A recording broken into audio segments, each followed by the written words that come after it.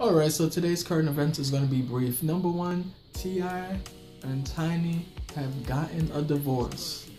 Uh, after six years of marriage, the couple is deciding to split.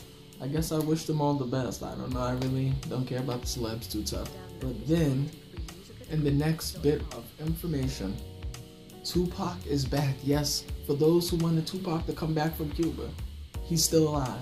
How?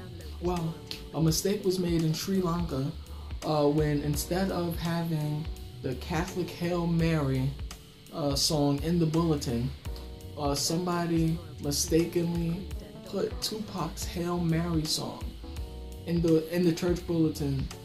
Now, if you know Tupac as an artist and uh, everything he stood for in his music, we know that has a lot of cursing in it. And so my thing is that the person who did this maybe could have been trolling and he knew that uh, he knew about Tupac and just wanted to put it in the church bulletin anyway. But apparently the church cleaned it up and said that the mistake was made by a young boy, so I don't think so. But anyway, these are the two current events for today. I remember Tupac's back.